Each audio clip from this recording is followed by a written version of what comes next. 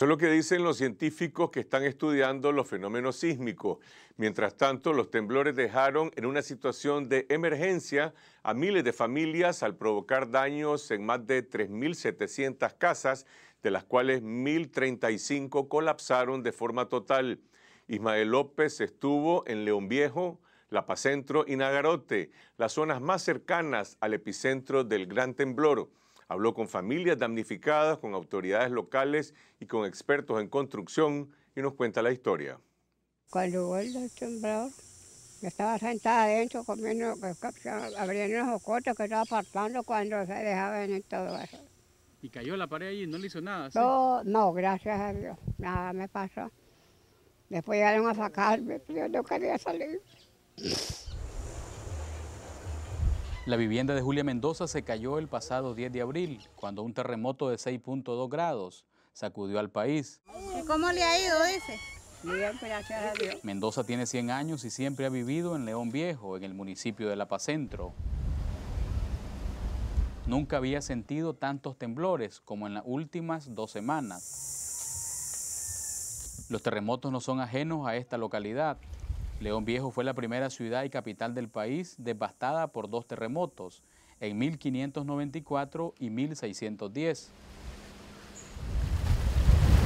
Esos desastres, más los rugidos y cenizas del Momotombo, obligaron a sus habitantes originales a abandonar el lugar y fundar el León que hoy conocemos.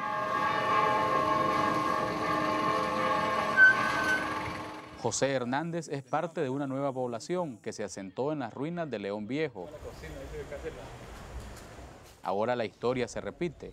De momento vino un temblor ahí, la sacudió y se fue toda. ¿No había nadie adentro? No, no, no. no.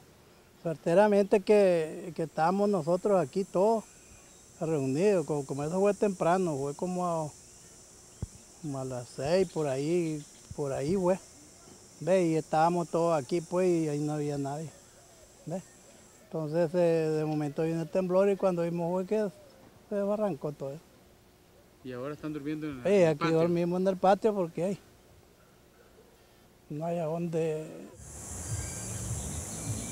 Escenas como estas son comunes ante los numerosos sismos que se originan en la falda del Momotombo y en el volcán Apoyeque, cerca de Giluá.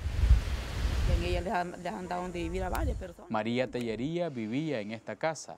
Yo estoy aquí donde él cae. ¿Cómo se cayó?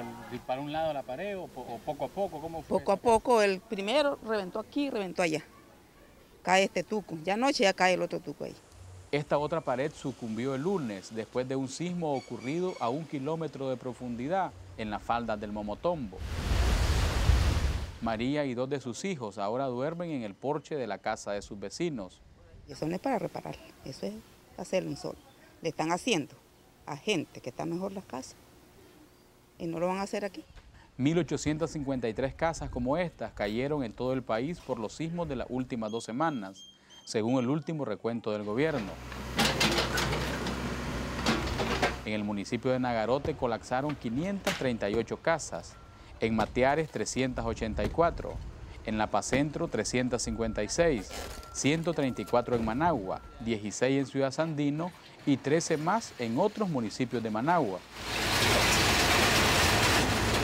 Ya contamos con un buen código de construcción. La vocera del gobierno, Rosario Murillo, anunció a través de los medios oficialistas que 4.805 casas fueron afectadas en todo el país, entre pérdida total y otras con daños reparables. Hospitales como el Fernando Vélez Pay fueron clausurados por los daños al edificio. La primera dama también detalló que 412 familias están en un albergue improvisado del Instituto Nicaragüense de Deportes. En todo el país son 1.853 familias las que sufrieron daños.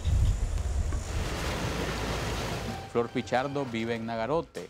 Es cabeza de una de las familias que perdieron su vivienda. En el primer temblor me la dejó destruida mi casa. Yo andaba en León cuando recibí la noticia que mi casa se había caído, que todo se había destruido. Varias cosas se me perdieron, pues. El pozo se me hundió, el interior se me hundió. Los daños están ya calificados, las viviendas afectadas ya están recibiendo, las primeras 300 viviendas han recibido algún tipo de ayuda Eh, poco a poco se está mandando materiales, pero como está temblando, todavía el plan de reconstrucción se está esperando, pues, porque podemos hacer una pared hoy y mañana se la bota. Anoche hubo un temblor enorme. Los escombros de la casa de Pichardo fueron removidos por autoridades municipales y el ejército de Nicaragua. El gobierno ya prometió casas nuevas.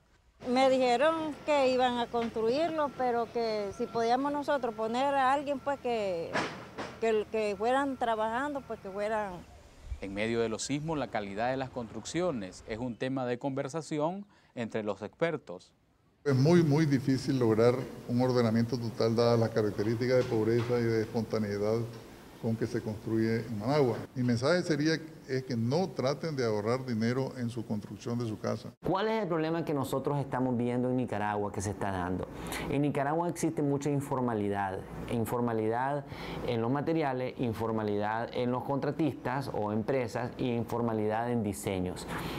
La gran mayoría de las obras que se hacen eh, a nivel eh, familiar, que nosotros le llamamos autoconstrucción, vemos un doctor, vemos un abogado, vemos una ama de casa que se va a las bloquerías que quedan en esquina de su casa, que se va al, mercado oriental a comprar acero milimetrado o acero que no cumple con, las, con, los, con los procesos de calidad adecuados, contratan la mano de obra más barata que pueden conseguir Benjamín Lanza es presidente de la Cámara de la Construcción. A partir del 72, sobre todo las empresas formales que somos supervisadas, construimos con diseños que son eh, antisísmicos y no deberían de tener problemas. Yo no puedo asegurar aquí que no se va a caer ninguna, ¿verdad? No, no, no eso, eso es imposible.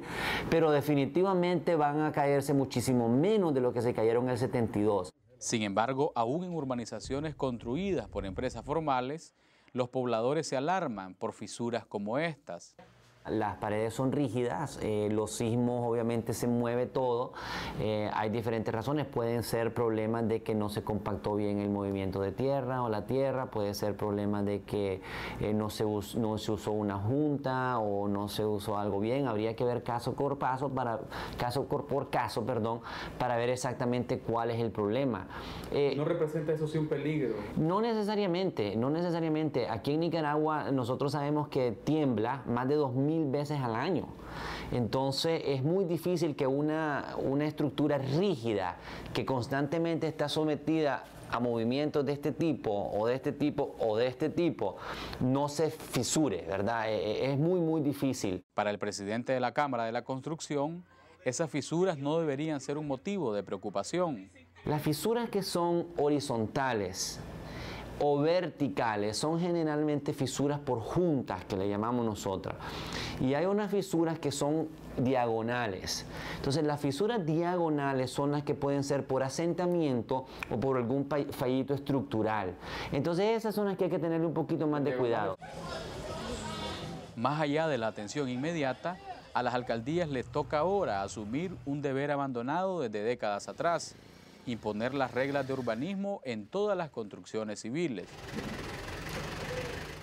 En Nicaragua no tenemos otra alternativa que desarrollar una cultura de prevención que nos permita convivir con los fenómenos sísmicos, pero la prevención requiere sobre todo elevar la calidad y seguridad de las construcciones, en lo cual juegan un papel esencial el gobierno central, las alcaldías, las empresas y sobre todo los ciudadanos que construyen sus propias viviendas.